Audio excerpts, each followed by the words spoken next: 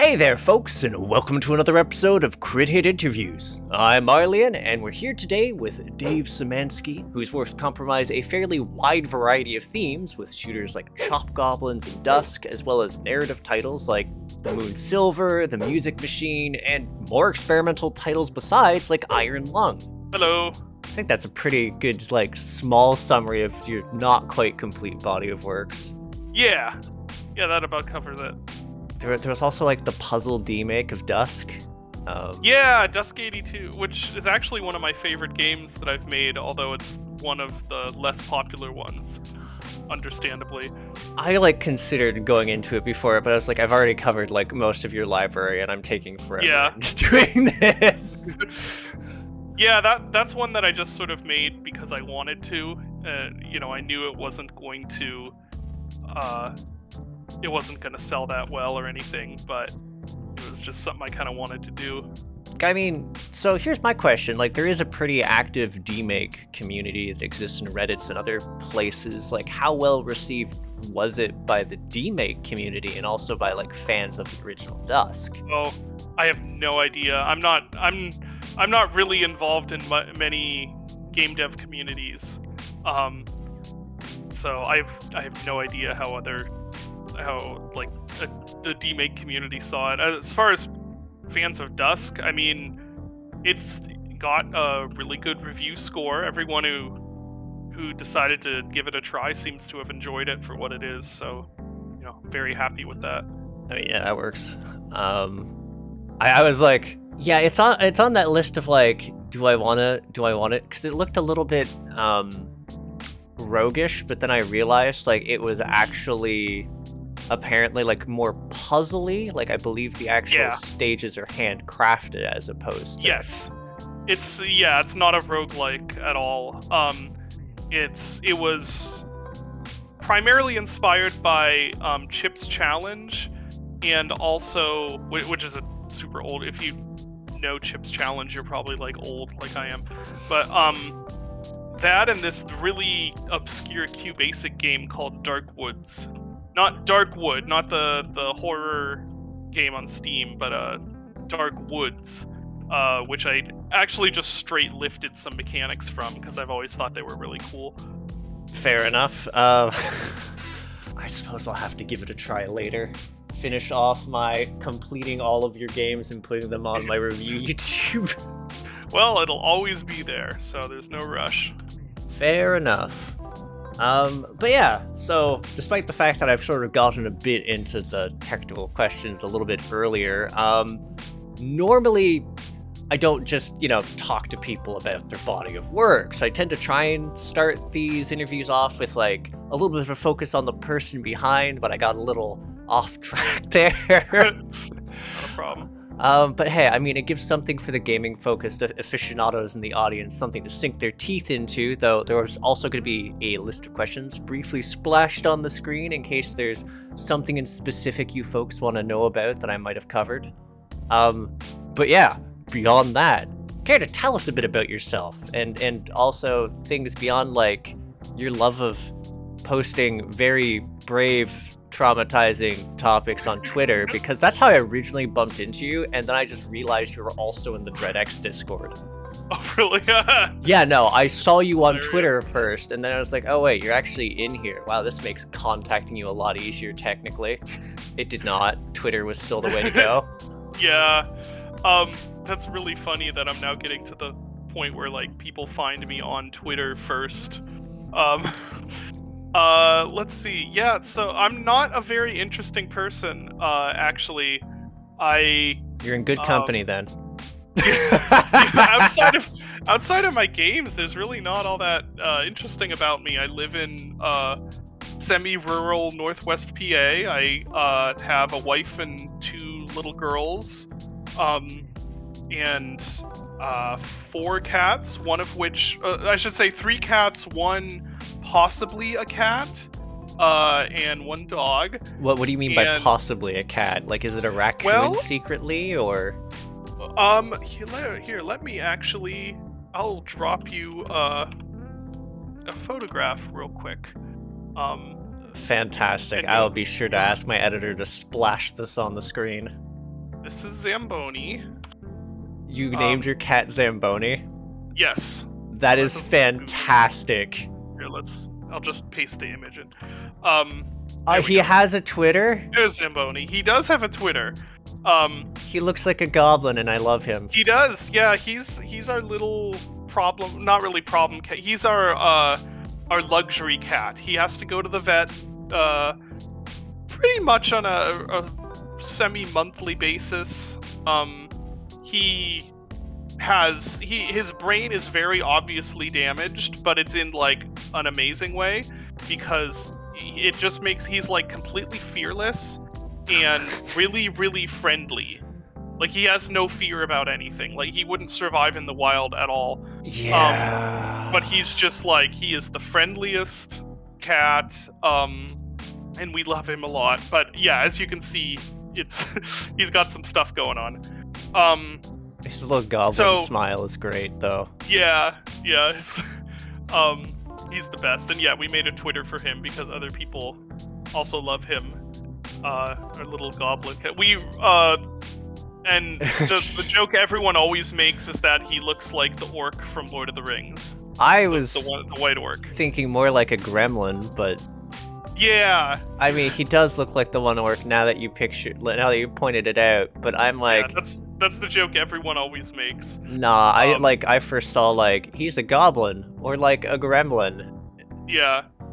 Ah, Uh, yeah, he's great. So, plenty of pets, um, and really not a whole else lot going on other than making games. I um, I I write a little bit. I do have a book on Amazon that probably nobody should buy because it's really dumb. Um, Are- are we talking like Chuck Tingledum? For I anyone who's- don't know who that is, but um, um, you should search up Chuck Tingle. okay. so should anyone Tingle. watching this video because it has some very fascinating titles. He has an entire series of books, in fact, that are part of the Tingle Tingleverse. I've never read a single one, but the. Oh, I'm seeing these. uh huh, uh huh, the, the titles are something. okay, these are amazing. The physical manifestation of Twitter's rapid descent into chaos thanks to nip management from a man baby edgelord pounds me in the butt. That is an actual title. yep, I'm seeing that right here. Okay, so not quite to that extent, but a little bit along the same line. It's like, uh, it's called Monkey Aladdin, and it's just complete surrealism. I started it when I was 15, um, and I've just uh, like I, I gradually wrote and rewrote it for a few years, and then published it, and then did a physical publishing um, last year, just for the heck of it, just because I wanted to, mostly so I could get uh, copies for myself. And you should also include Um, it as like part of a, a bundle with one of the physical copies of your game one day. That would be amazing. Yeah. right? So Uh, I, signed I do copies in, in ten. Yeah. so I do some writing, and that's actually something I'd like to do a bit more of in the future. Um, I'm also a composer, and actually that's what I have my degree in.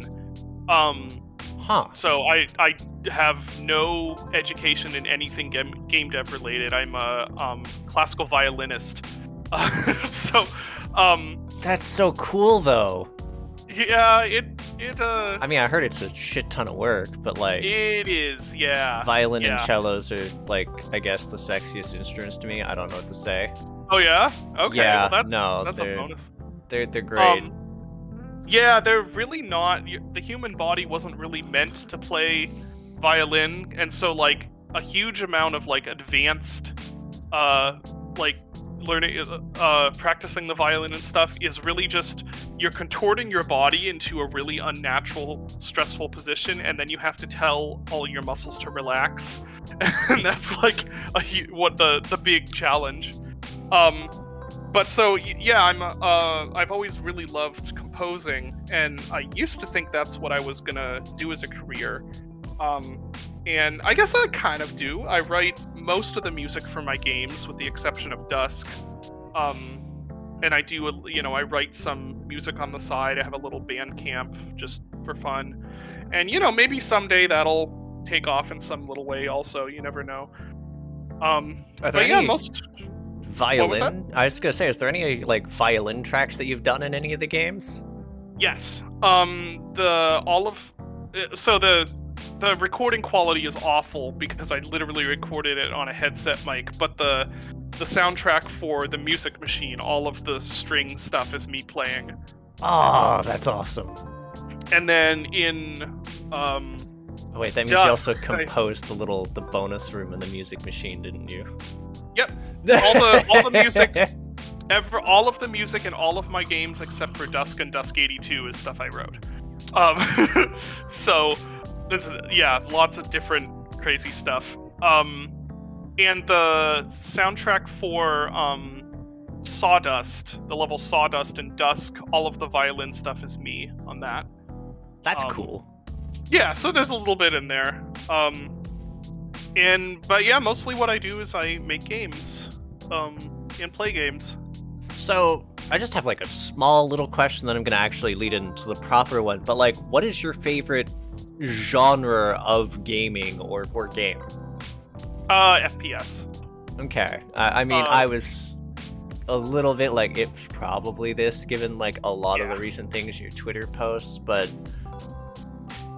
Yeah, it's always been FPS, and it's very weird that I have made so many.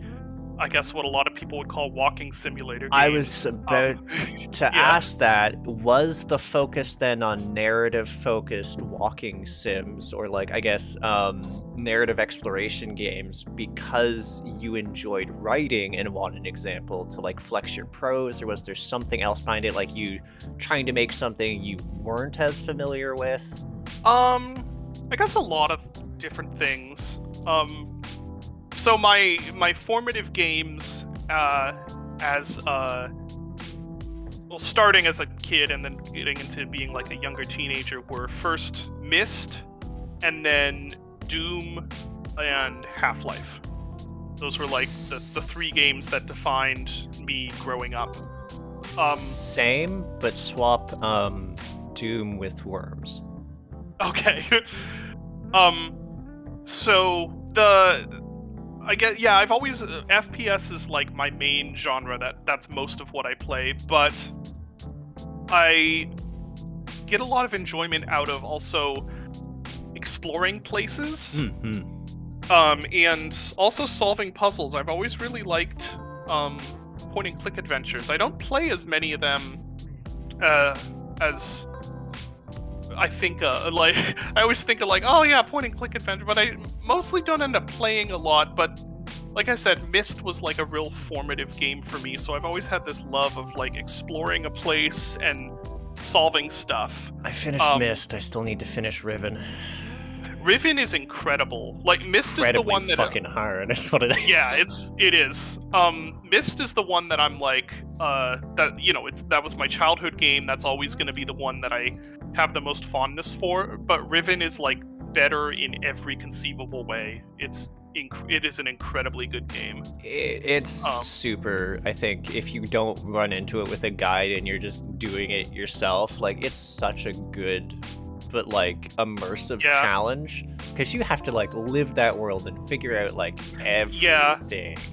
It's a type of game that in a in a way doesn't exist as much anymore where it's like this was expected to kind of be your life for a while Mm-hmm. um, and you were not expected to be able to blow it through it in a weekend. It's like you were supposed to get stuck on these puzzles and have to really think them over for a while and stuff. Jot down Um, notes, come back to it later yeah. while you explored the rest of the world and like sort of Yeah. pieced everything together. Like it was, yeah, no, Yeah. So so like I think the outside of genres, that like it, it makes maybe with me it makes more sense to talk about what are the things I like doing in games. And the things I like doing in games are I like exploring and I like shooting stuff. Mm. Um, so if you think of it in that in that way, it's like the stuff that I've made makes a lot more sense because all the narrative driven stuff. For one thing, I, yeah, I I also like writing and I like I like writing more story driven stuff um, sometimes.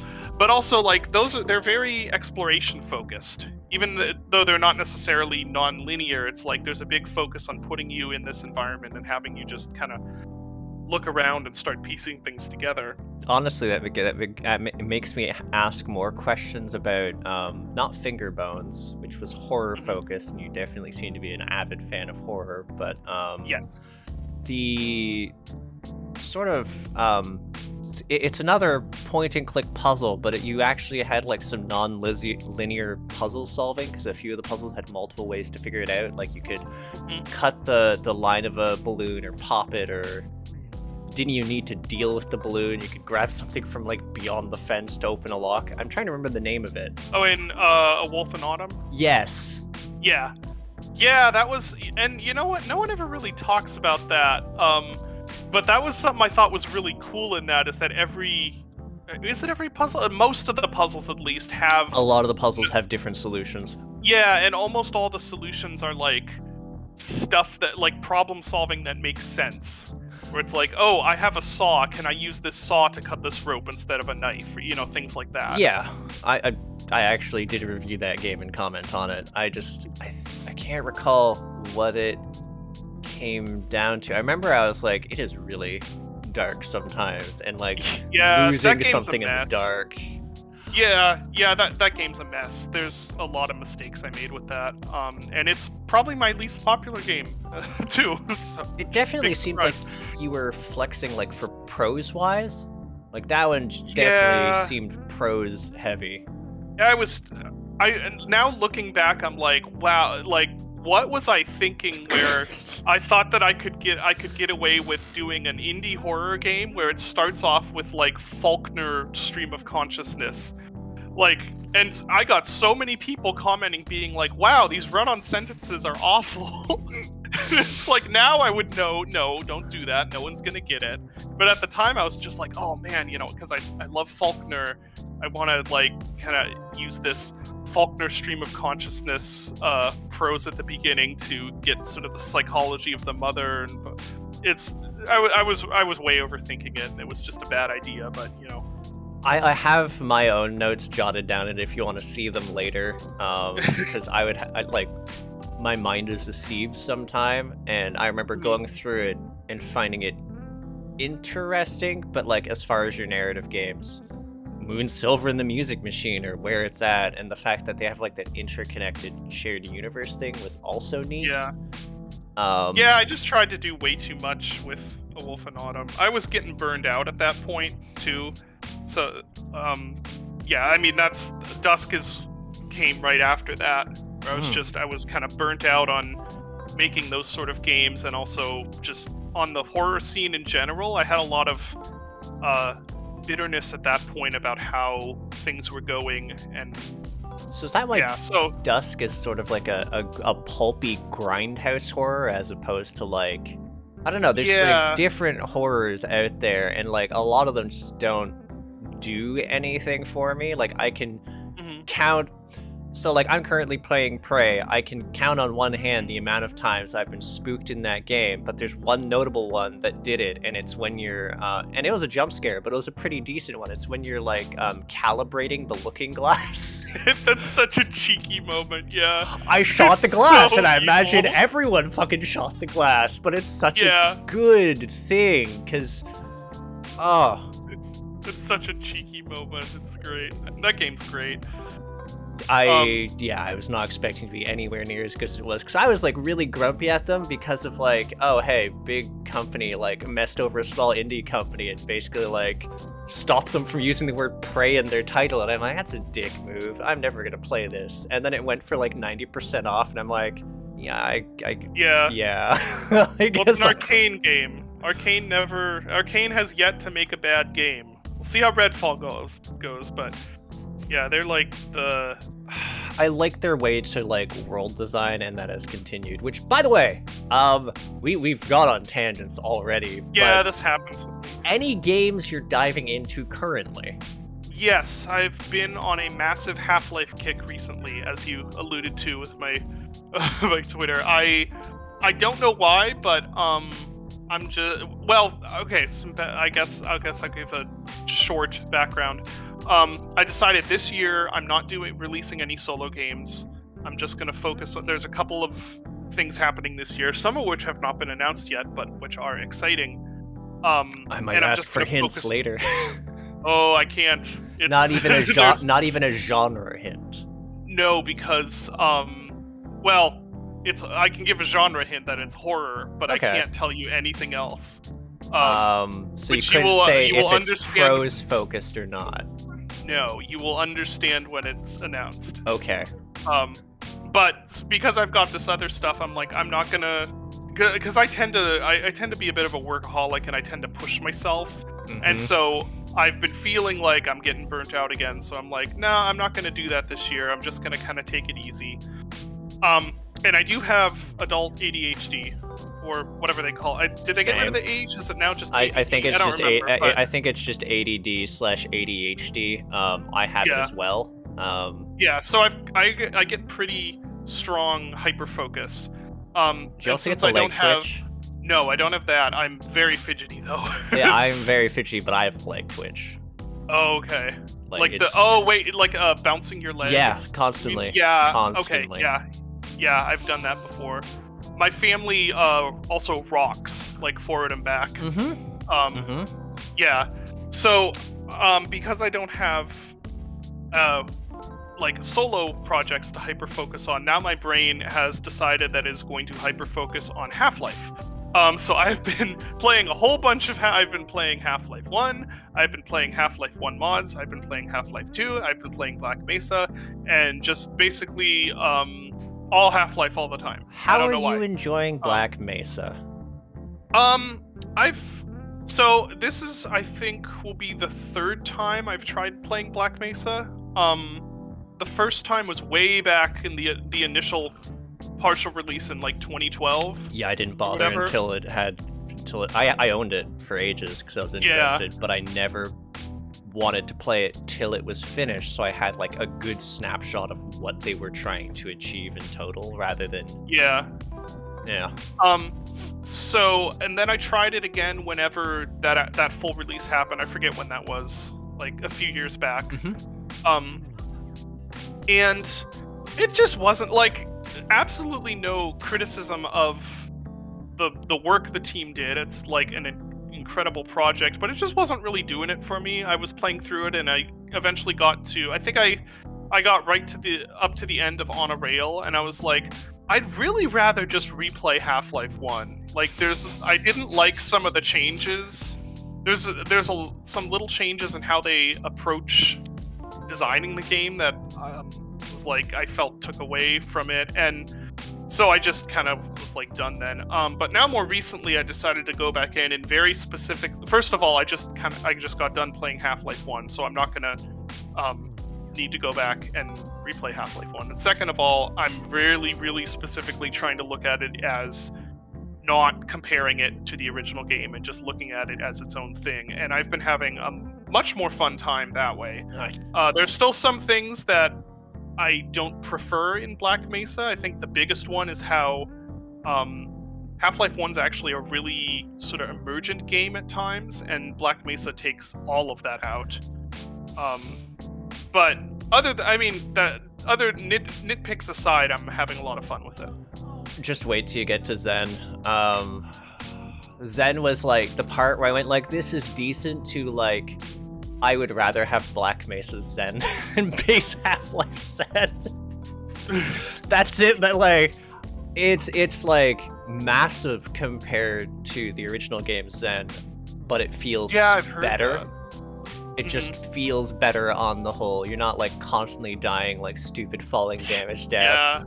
Um, That's the problem with original Xen. I love the aesthetic and atmosphere and everything. I love it. oh, it still has that. It still has a great atmosphere. yeah, but then the whole like the platforming just kind of wasn't it wasn't the best. Yeah.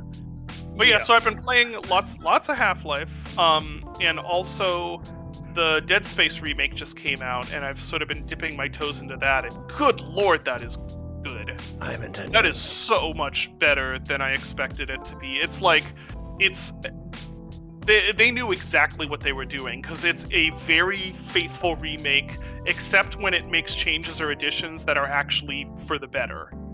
Like I've been it's, they're- it's excited really good. to look at it, and I've heard that it's sort of also paved the way for a Dead Space 2 remake, which um, honestly, I loved both those games. I felt they really did like sort of, hey, do you want to play like Event Horizon as like a, a Mhm. fucking gory video game? Let's go. And I was like, yeah, okay. Yeah. Yeah.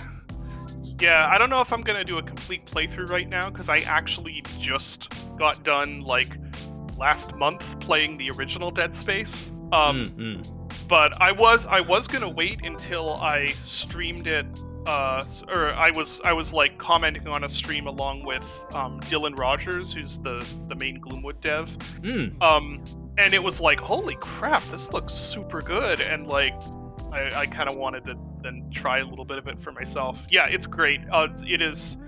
The reports of how good it are have not been exaggerated. It's really a, a so far a shining example of how you do a faithful remake. So, I'm gonna get us slightly back on topic again because we just both Sure. nerded out here. and- Yeah, like I said, this will this will happen every single time I do an interview. It always goes longer than I, I honestly. I don't mind. Um, I, I'm I'm Okay. also sparing people in the audience from me nerding out because I'm a gigantic nerd and I'm enjoying the ability to nerd out with someone. But gotcha. Yeah. um, so we didn't actually talk about this, though we've sort of talked around it. But what actually was the point or the the thing that got you into game development itself? Because you sort of said you Um, don't have the skill set for it. You trained to be like a composer and other elements. Yeah. Yeah, um so I actually started into game dev when I was like 12 or 13, I think. Um so it was a long time ago.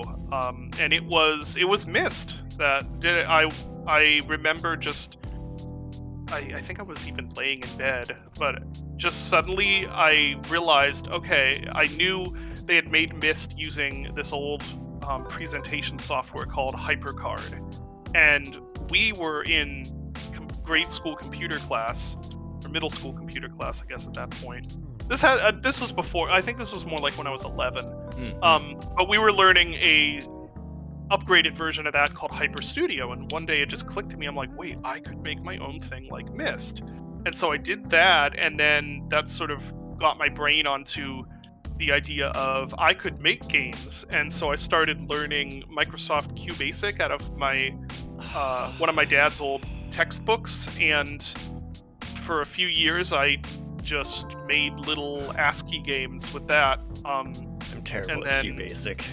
I learned it too. It was, I'm bad.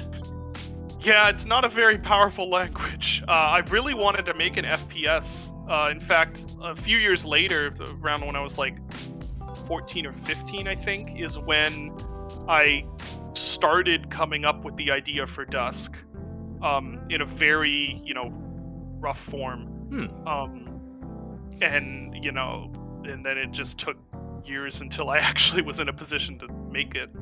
Which, yeah, so you, you've already mentioned like a sort of skill that you had to learn, but like what skills in total did you need to learn in order to like ultimately be able to make your first publicized game and like which parts of it did you struggle with the most? Oh gosh. So when you say first publicized game, do you mean first published or do you mean like Fingerbones? Like first I one would count? I would count the first one you published, though, if there's like a difference in the question between like from the first one you published to Fingerbones. I mean, that's also interesting. Yeah, there's because I um I published like f- five or six games before or more maybe. Um. I think I think around like five. Oh, maybe more like seven. um but yeah, I've um I've been making games for a while, uh, but none of those took off at all. Um, I worked in, like I said, I did some little ASCII games in QBasic for a while, and then I sort of drifted away from programming. And then in college, I discovered um, Game Maker, and that reignited this idea of making games. And I made a few things in Game Maker, and then by that point, I was back home and graduated from college. Um, and I got, I, forget why it was like, oh, Unity, I'll try this out, and that's the game I made to kind of learn Unity was Fingerbones. Um, so I guess my answer being that I can't really remember exactly back when like my first actual published game was when I was like 15 or something, and that was like a decade and a half ago, or no longer. Geez, how old am I now? It's longer. That's almost two decades ago at this point. Um, so uh, you're only yeah, you're only as old as you feel, right? You can just forget yeah. one of those decades. It's fine. Well, unfortunately, when um, once you hit your 30s, you start feeling old, also. So Nah, Um, I refuse to believe this because I'm probably as old as you are. Uh, how old are you? 35? Oh, geez. Okay, no, I'm actually younger than you are. I'm 33. Yep, no, I am Um, only as old as I feel. Yeah. Yeah, Yes, yeah. You're, you're younger than me in spirit. Um, But for, I think Fingerbones is probably the more interesting and relevant discussion because that was my first Unity game, and that was also the first game that I put out there that had any sort of you know groundswell behind it. And really that's where i started doing game dev as a career rather than just as a hobby.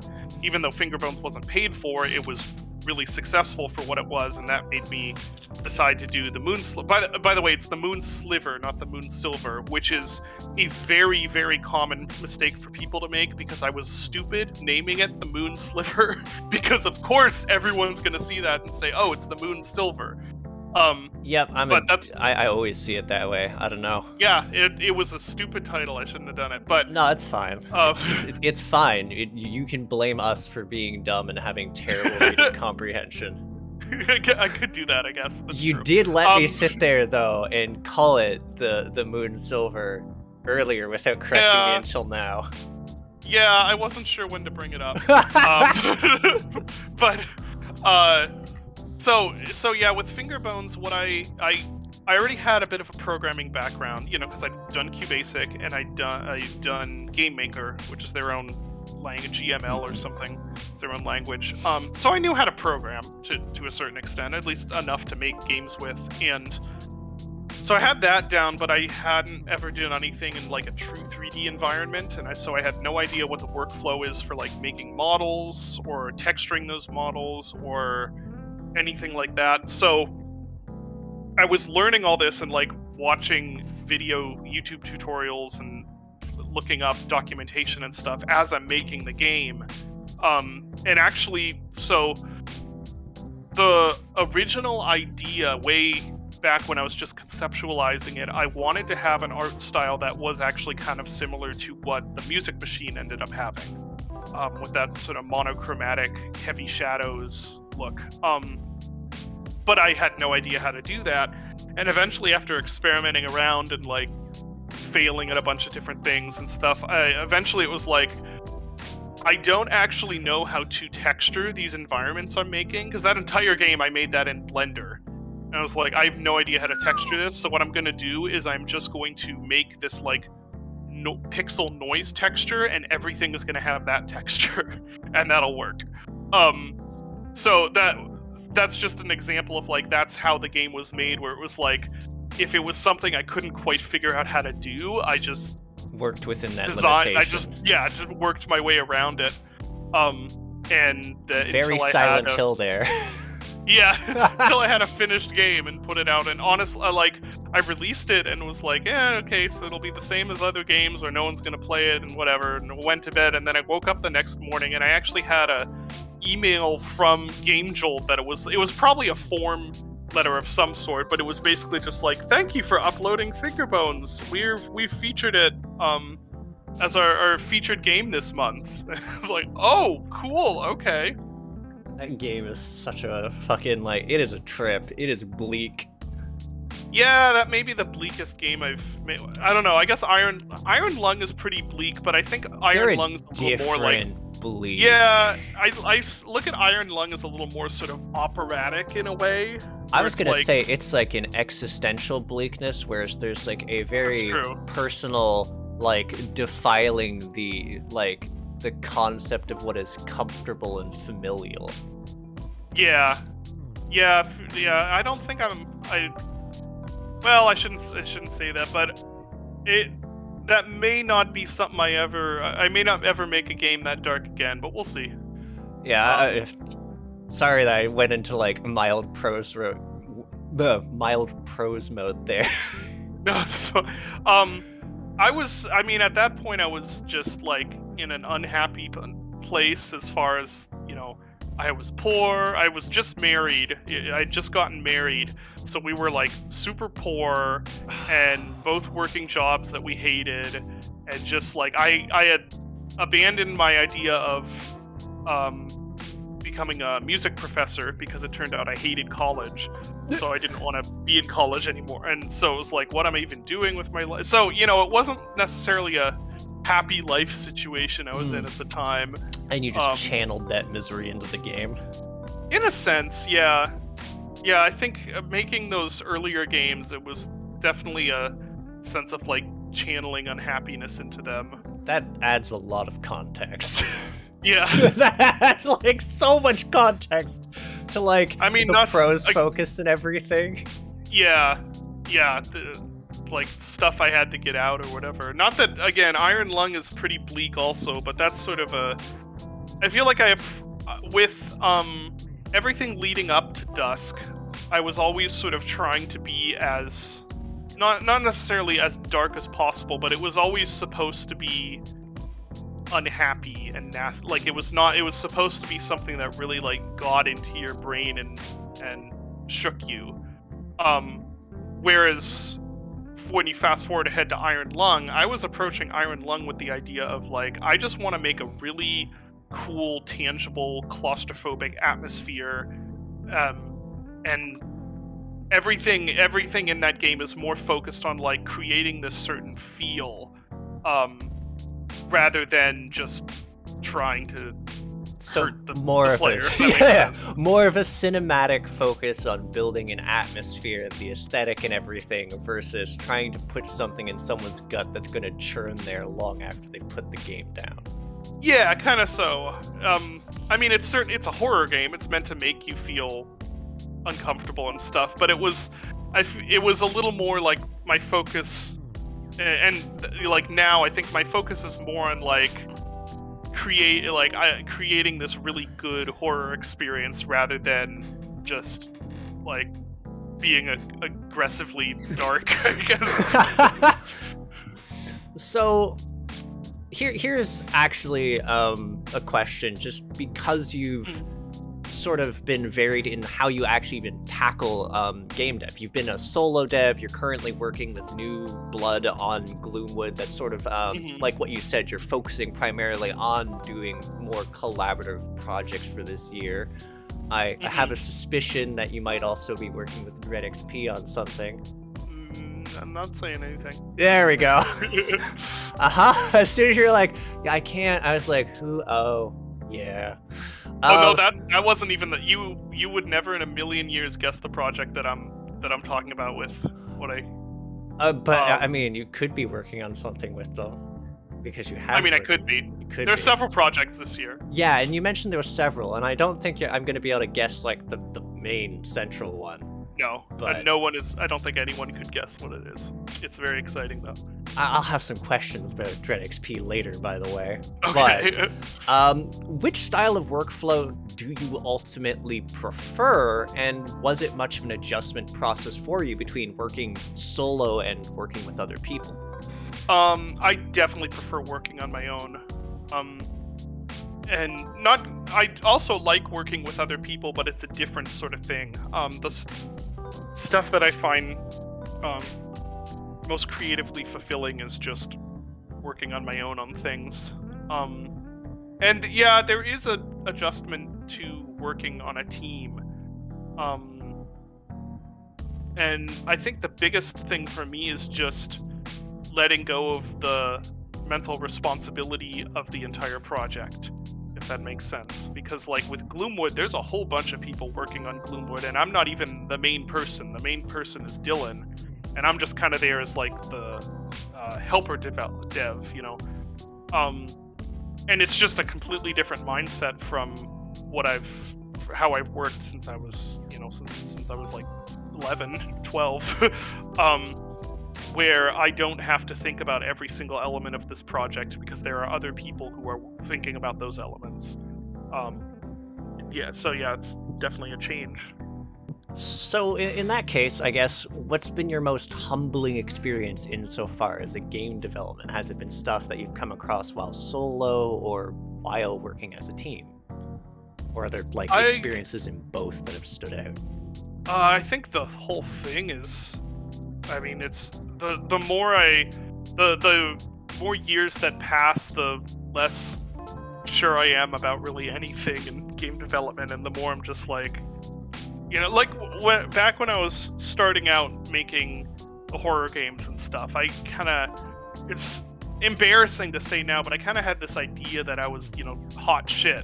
You know, I was like, I'm, I'm making these really uh, cerebral horror games, and these other these other games that people are are giving attention instead don't deserve it as much, and really, you know, stupid stuff like that, which I don't think at all now. Um, and yeah, just as the years have gone on, the more I'm just like, yeah, I I don't know, I'm just kind of making games, and people seem to like them, I guess, and I hope that continues. Uh, and I think probably I don't know. There's been a lot of humbling experiences, but the one that comes to mind in recent memory is how uh, I was actually, um, I was actually in favor of passing on ULTRAKILL at New Blood. Um, I when we got the uh, initial sort of pitch demo for it, I played it and I was like, I no, I'm not into this. I don't think it's very good. Um, that was a very uh, bad opinion, as it turned out. um, yeah, I've yet that, to play uh, that, but it's been on my radar. Well, it's it's just more popular than you know. I don't know how much how crude we can get on this this channel, but like it's it's very popular and I'm extremely not monetized. successful. I'm Okay. not monetized, and I doubt I ever will be. Okay. Well, it, it's. I mean, it's like it's. I think the highest rated FPS on Steam right now, and it's you know super popular and stuff. And so that was. I think about that every so often. It's like, wow, that was not a. That was not a good call on my part. like as a separate tangent in, in, entirely here, or maybe not a separate one. I don't know if you you ended up going later on and being super stressed about this, but how do you Mhm. manage game development related stress? Like, is there something specific you have to do to manage that on top of everything else? Uh, I don't know, and if someone does know, I would love for them to tell me. um, I the answer is you don't, and it just uh eats away at you, and then you have mental breakdowns every few years. Um, If it helps, I, I deal with stress and anxiety by baking occasionally. It, Okay. Like literal baking, not figurative baking. Um, yeah, not okay. Yeah. Um, yeah, I don't know. Brownies are great. They trick you into being happy. mm, You, you yeah, might gain a few pounds if you if you trend towards that, but like you bake an entire ass tray of brownies and you just store them in your fridge, and like the act of baking them is nice. That smell of the chocolate, maybe a little Mm-hmm. cinnamon. If you cinnamon also tricks your brain into being happy. That's all it is. Okay. You're just chemically tricking yourself Yeah. into being happy. And you, when you're feeling a little bad, you eat one of the brownies. Yeah. Yeah. That sounds like a good idea. I mean, there's there's just innumerable pitfalls along like before, um, before I, I really had a career, it was the the stress was okay when I finish this, is it just gonna go out into the void and no one will ever play it? Uh, then before dusk, the stress was like, oh my gosh, uh, the you know the games aren't making as much money and they're not reviewing as well and no one will cover them and I you know and then after dusk the stress turned more into uh you know the whole imposter syndrome like wow i really do not deserve all of this. Oh and god. then like oh my gosh how am i going to follow this up? Like is my is that just the high point of my life now and it's downhill from here? And um in addition to all just the minutia where it's like oh today the engine has decided that it's not going to i don't know bake the light maps properly and you have to solve that and it's stressful and frustrating or like oh suddenly now we have a week to get this done for the release and nothing's working you know Oh god. um I, I've Yeah, done so- programming. I sort of like understand some of the issue where it's like you change a single thing and like it's just a chain reaction of everything breaks from you patching one thing. Yeah, and it's a nightmare in Gloomwood because um, not only is it an extremely complicated game behind, under the hood, uh, but there's also like multiple people involved with it. So, it yeah, um, but yeah, I mean, I think as you as you continue making games and working at it, like you start to get an idea of how to manage certain types of stress. But at least for me, there's there has yet to be a point where it's like, ah, yeah, I know how to handle this. It's always you know some new challenge presents itself. Um, new and creative ways to panic. Yeah, pretty much. uh, that's, that's, yeah, that's a good way to put it. Uh, um, yeah, so I, I think that's this has probably been a pretty good snapshot of like what's behind the game. So I suppose this is like a good part to seek into like where I normally talk about the most recent games you're working on, but and I will get to that. Like I entirely intend to, but there are some questions about your body of works that I'd like to tackle. We've tackled some of it already, but yeah. um one of the big ones is you've done boomer shooters, uh, minimalist yeah. exploratory horror. There's the D-make, like I said, and there's the immersive sim now with a stealth focus, uh, Gloom. Yeah. Is there a specific genre you actually no? You already answered that. You you do gravitate towards FPSs, correct? Yeah, that's really my main uh, main source of enjoyment. That, Not only one though. That said, are there some genres you still intend on tackling at some point? Hmm. I have always wanted to make a proper, like, first person point and click game. Um, the huh. problem there is that those games do not do well currently. Um, so it it would have to be like something that was undertaken entirely as a passion project. Just something um, you do on the side. Yeah, and I've I've worked on one thing for a little while, but hasn't haven't finished it yet.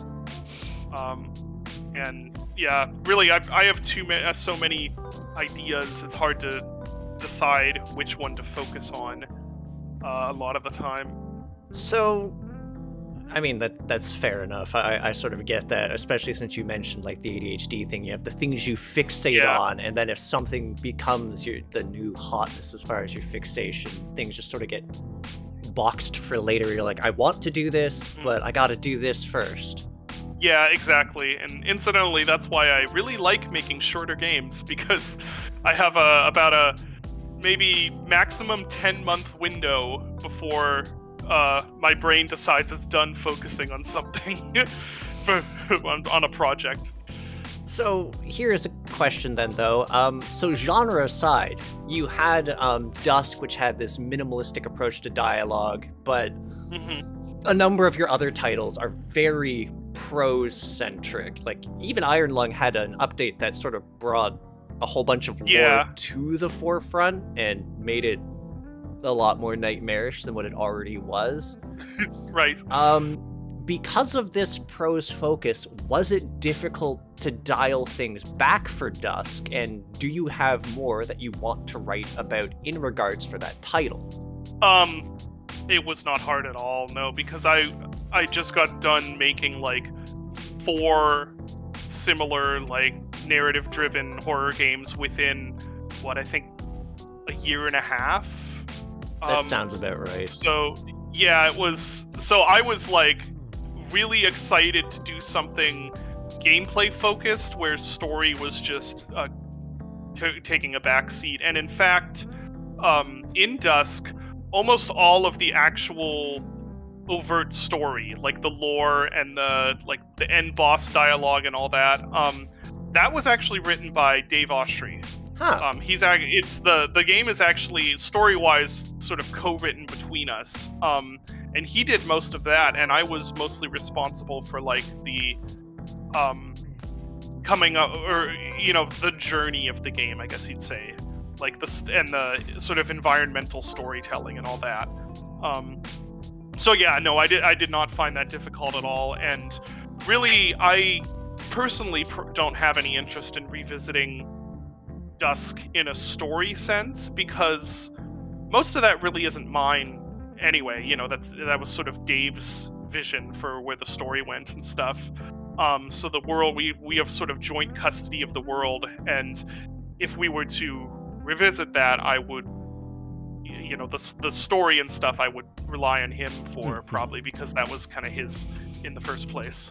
In that case, just what was the most difficult thing to translate into environmental storytelling as far as like the stuff he laid out for you? Hmm, I'm not sure actually because the the process for it was really sort of through written, you know, like very iterative where we had no idea where the story was going to go when we started the game and really it was like I would make these levels and have this idea of like okay, here's sort of what this implies about the world and everything and then we'd you know have that level and then sometimes he'd be like oh you know now there's this. This is what where the story's going.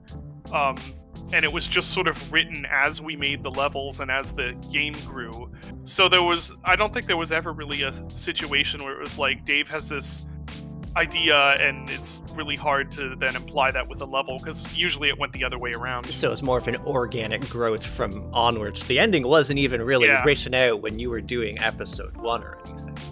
Oh no, definitely not. I mean, I I had my own like st- when I started Dusk, I had a story in mind that was very different from where the game ended up going. Um, it was like a lot more sort of stalker Shadow of Chernobyl. Um, and I had always kind of figured that at the very end, the in some way the big threat was going to be like the um, the whole world itself was sort of alive in a, in a sense. Um, there wasn't ever going to be like a Nyarlathotep boss or, or anything like that. But as we were working on it and stuff, you know, that all changed. It was, yeah, very organic and very iterative. He's our good friend, just concerned about the progress we make. You know, just passing on knowledge. No, Yeah. he's Yeah. such a friend. Uh, I I actually fucking love that reveal at the end. It's only Yeah. me.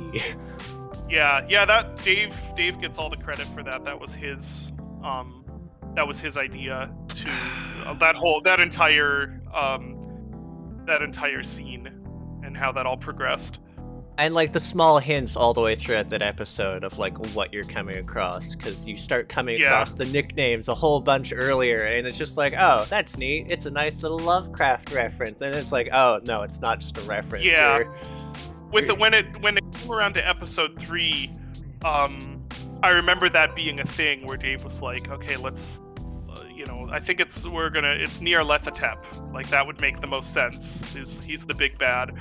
Um, and so then we started leaving around that yeah that literal text from um his what nicknames? Dream of yeah was that is that i Dream think of the uh. Oh, i what's that like dream called? something of kadath Yeah, that one. I think that's where that all's from, if I remember correctly. i have a horrible Uh, name for his memories and i used to like read um like in acts of mine bedtime stories of lovecraft oh, nice. um, but like, yeah. Um, I, I don't know. Um, I thought it was sort of interesting for like the whole lead-in to that. Yeah, it's it, foreshadowing it. I also just like the fact that like it, it ends in this climatic boss battle, and then it's just like, oh, you thought you won. Spoilers, Yeah. sorry, but um, yeah, the way Here's the that real boss. No. Uh, I, I mean, but even beyond that, of like, here's the real boss. It's like, a, oh, you thought you could kill Nyarlathotep through rocket launchers and bullets, you idiot.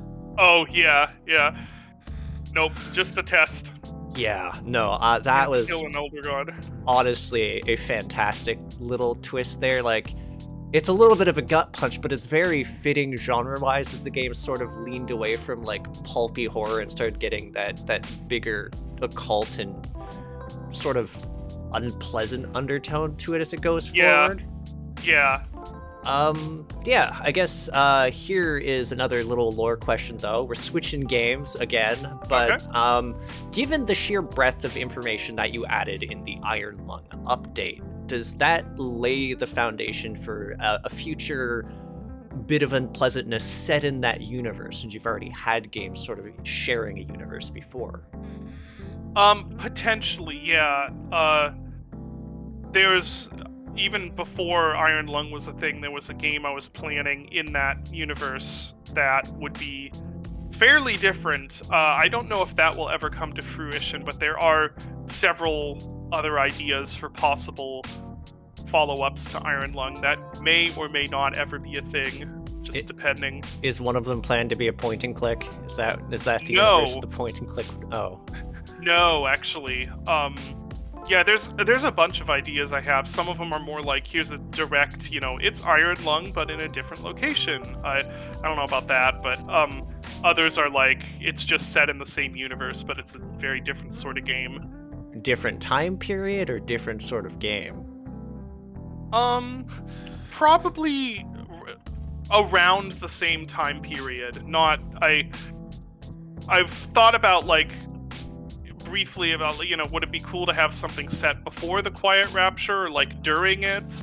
Um i don't know if that would end up happening.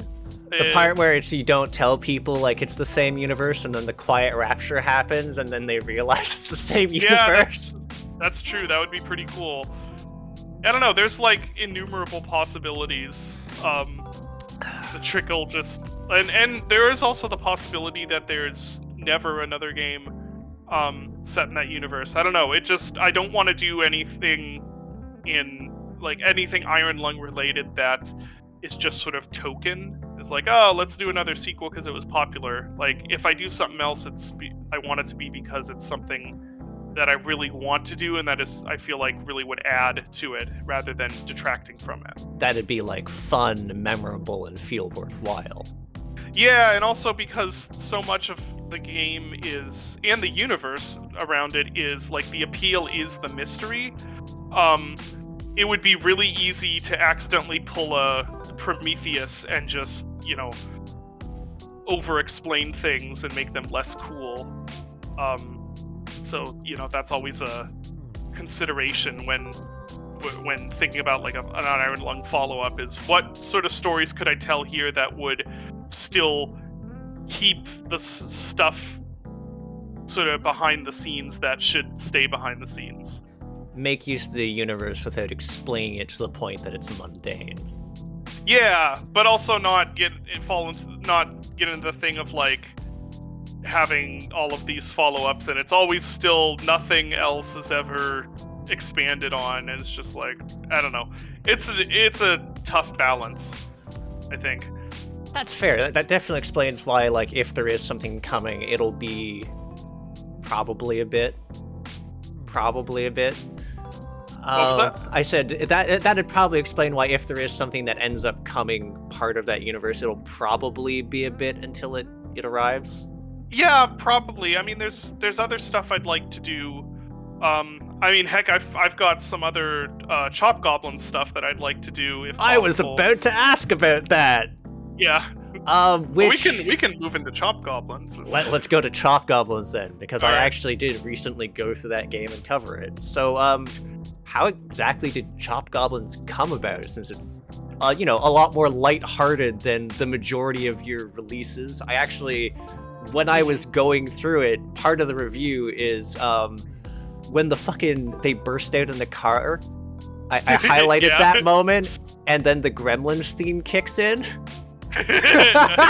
yeah, yeah. So, uh, funny tidbit about that is I actually designed almost all of Chop, like made almost all of Chop Goblins before I had seen either Gremlins film. What? yeah. um, because I I mean I knew kind of the the basic the meme sort of the the creatures run amok and that's what it was riffing on. Um, and then I ended up watching both Gremlins films and I was like, these are awesome. I'm glad that I am riffing on this. Uh, but yeah, so I'm Chop so glad I included that little music riff then when the fucking car emerges, Yeah. because that was the perfect quintessential like Gremlins moment in that game. Yeah. yeah, like them on the uh, snowplow or whatever. yeah, Like, yeah, yeah. and that's why that's what I was thinking of when like you come to the car and it's just loaded with chop goblins coming in, and then the music from Gremlins came the da da da da Yeah. da, da. yeah. Um, so that uh, is probably anyone who knows me in real life would say that's more sort of who I am as a person than the horror stuff. Uh, like I'm I'm much that that's a little more actually my real personality. Uh, is that sort of just really stupid, goofy, you know, goofiness. Um, and let's see, how did that come about? So there were a couple steps. The first one was I think this was even before Iron Lung. I was kind of in a a funk, um, and still trying to. It took me. It took me a, a few years to get uh, get past the whole dusk releasing thing and figure out what do I do now. Um, and at some point during that time, I was just sort of in the, yeah, like in this funk and just sort of letting my imagination run wild to see if I could come up with some sort of idea that I felt like would catch. Um, and I was like half asleep, and just suddenly the the name like the idea of like chop goblins came into my head of like this is a this is like a schlock 80s series and there would have to be like you know eight of them or something. And they're just the like puppet master or something like that where it's just there's tons of these horrible low budget movies or whatever about the chop goblins. And the the first one is like chop goblins and then it's chop goblins no mercy or something like that and just Revenge all these you know, the really Chop Goblins. yeah just all these really stupid titles and Chop so that was the Goblins, Chop idea harder. yeah and that was the idea that popped into my head in this sort of half asleep state and i just thought the name and the concept were funny so i wrote that down in my big list of things and would keep mentally coming back to it every so often and then uh, after iron lung i was uh, just looking for games on steam to play uh, like indie games, un- sort of unheard of indie games, and this one came through my discovery queue called, oh, what is it called? Cave Explorer. Let me look look it up real quick. Cave, Cave Crawler. That's it. I want to get it name right in case anyone goes to play it. Uh, this little game called Cave Crawler, which is free, and all it is is this really simple little uh, 2D side scroller, which normally I'm not really into, but something about it was like the simplicity of it and um i think it even talked about on the store page yeah on the store page it's just like this really short description. It's just hey this is a 2d side scrolling platformer and there's like five levels and blah blah blah and it's really short. And i was like okay heck yeah i would that that sounds awesome actually to play grab this game just play like sit down for 20 minutes and play through a full game that sounds great. I'll grab this. And so I did, and I played it, and it just kind of struck a chord with me. This idea of what if you like having a game and it's just really short and compact. Not like short as in this is a proof of concept demo, but like you take this experience and you compact it down into a single sitting. Like that was really appealing to me. And it you know it wasn't long before that i made the jump of like well you know i love fps games. What if there was an fps like this? And I, uh, then it didn't take long from that to be like you know what would be perfect for this? Chop goblins. That chop goblins concept. That would be the perfect thing to take and make into this little bite-sized fps and it was always conceptualized as like this could be a, like this would be a series too I figured I would make the first one, and I made the engine and stuff all really nice and um, not the engine, but like the code foundation and everything, all like nice and really open to being adapt, like having new levels made and new enemies and new weapons and stuff. And I figured I'll make this little one, and I'll put it out there just because I think this is a cool idea. And if it does if it does terribly okay it's whatever it only took me a few months.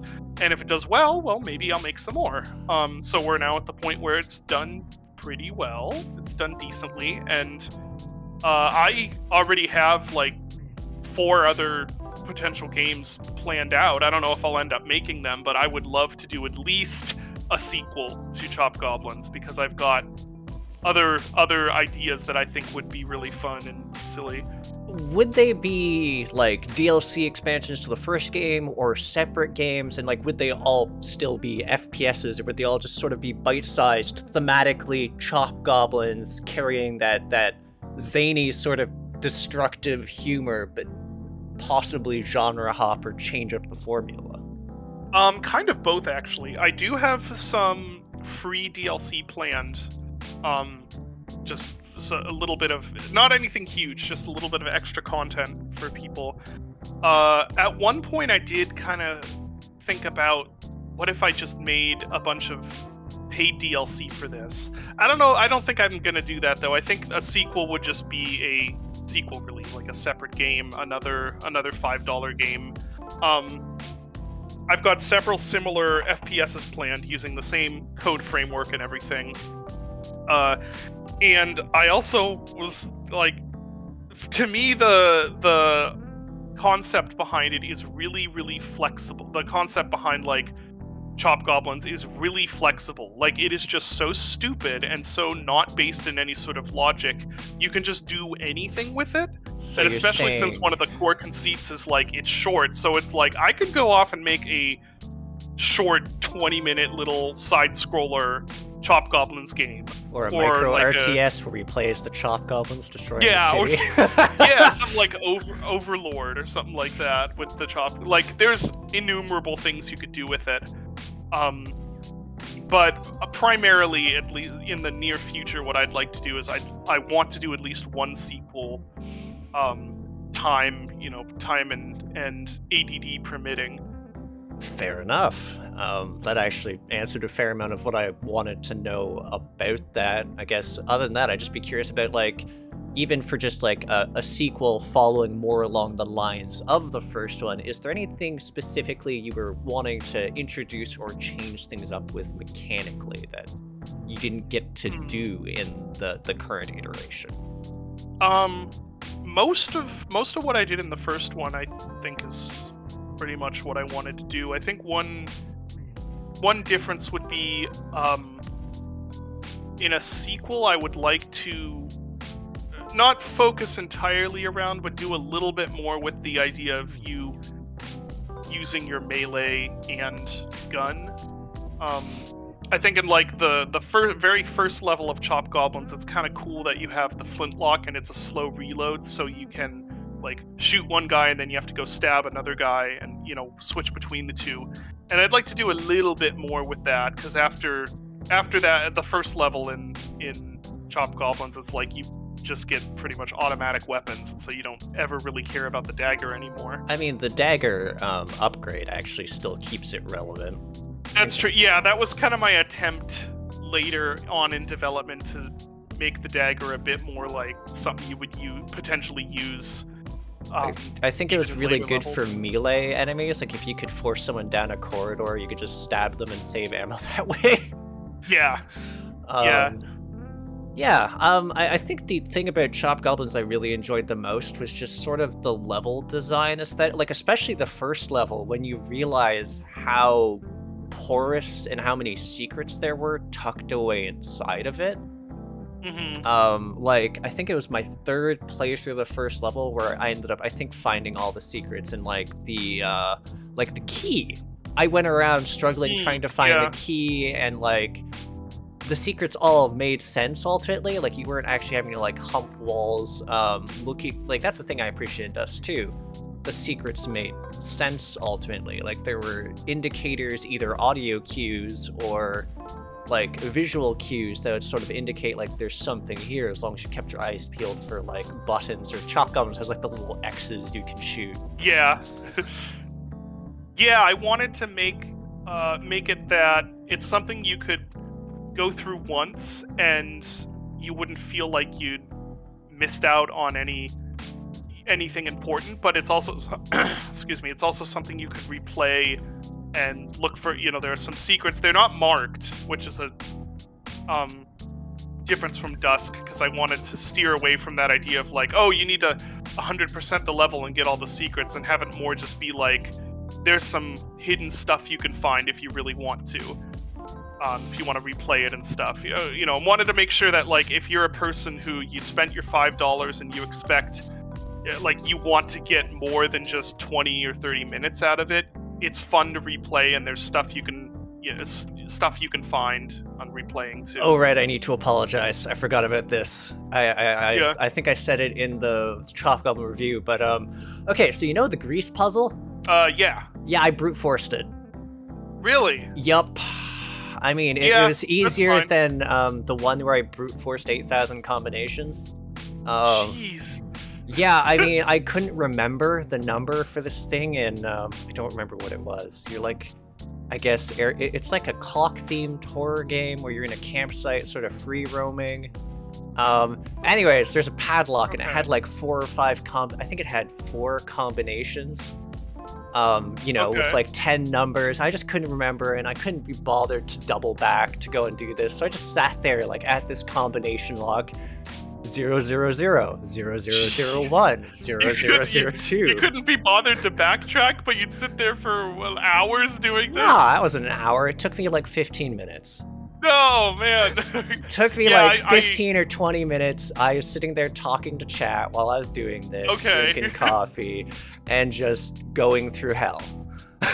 I did. I did know before release that that the Chop Goblins one would be pretty easy to brute force, but that was okay because that was, um, I, I I knew that would probably be something some people did, but honestly, the point of that puzzle is not to stump you. It's more just to, um, well, first of all, give a, a little bit of like, not not necessarily downtime, but like time where you're just sort of in uh, you're not you're not moving forward you know a little bit of variety and also to throw uh something at you that is more than just um, more than just shooting guys. I So, assumed the puzzle little was behind me in the lava room, but I was like, uh, I'm half dead. it's actually on the floor. Um if you go around to the the different um like the, the pavilion things if you Oh, go around to those and look on the floor that's the symbols well, But I'm yeah, an like, idiot. honestly, no. Honestly, brute forcing is it is a is a completely viable and perfectly fine for that puzzle. I was just glad that every time I brute forced, it didn't spawn enemies. Because like the first time I did it, Yeah. I'm like, am I gonna? Is this gonna be me just like gradually going through my ammo? And I was like, no. okay, we're just gonna sit here and do this. I'm gonna like Yeah. find my inner peace. There's only like I think 32 combinations or something. Like Yeah, there aren't many. Yeah, like I said, it was really it's not there to really stump you or anything. It's just there to be like a little little challenge that's a bit different. every time, every time I don't remember the combination or I haven't written something down, my fucking, anyone who's viewing me is just like, really, this is what you're doing? I'm like, I've done worse, done worse. Oh, yeah, no, it's r- it's rough though and you're like brute forcing like ten thousand combinations and you start at zero and the answers in like the eight thousands. Yeah. Yeah, My uh my mother-in-law, my my wife's family has this I don't even know how you describe it. This certain um uh, obstinance to them. Uh so I remember my my uh, mother-in-law played this game on the Wii called Safecracker. Um and she encountered something where sh instead of figuring out the code for it, she was ju- she just decided to brute force it like that, and it was a huge number of permutations. Um, and then she ended up missing a number and couldn't get it open. oh no! yeah. So I think I think that was the end of her playthrough of it, if I remember correctly. Oh, that's brutal. Yeah, no, like I have to make notes because I'm like, okay, I have to take a break to get some water. And I'm just like jots down a single number. I'm like, oh yes, I'm at four thousand now. Fantastic. Oh man. oh yeah. Um, but yeah, that's my my chop goblins questions. So last thing before we get into Gloomwood things. All right. How involved was the work related to co-producing Dreadx Collection The Hunt? Um, less than making my own game, um, but more than doing nothing. I'd say. So I um, I picked out all of the uh, all of the developers for that collection. Like I, I handpicked them, and I um, between Ted, the uh, DreadX guy, between Ted and I, um, we sort of agreed on a theme based on like I wanted to do something that covered a lot of the themes that I like in my own stuff, where it's like I like, um, well, I guess it's not really The hub in game my was yours, stuff, right? like, no, No. no, I, I actually wasn't involved with that in much at all, um, except for writing the music. I, I did Oh, the you did the music for game. that? I actually really Yeah. liked that one because it was very like Oh. the thingish. Yeah, that was so. I I did work on that a little bit. Mostly that was Ted and um, Nate who worked on that. Um, Fantastic. like Ted designed the whole thing and wrote the story and everything. Um, but yeah, so I like you know determined sort of the the theme of like oh I really like Arctic horror. I really you know I I want it to be all FPSs. Um, that was that was my stipulation because um, well they're not all FPS. They're all shooters. Um, that was my stipulation because yeah, I felt one's like a camera game. yeah, and also one of them's um, third person too. Um, but they're all they're all shooters in different ways.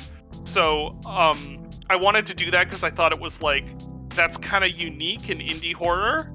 Uh, there aren't actually that many FPS indie horror games, at least compared with not FPS indie horror games. And I felt like if I were looking on Steam and I saw it was like, hey, horror collection and it's all first person shooters, I would buy that immediately. Um, and then the actual games themselves, like what sort of games they were and everything, that was entirely up to the developers.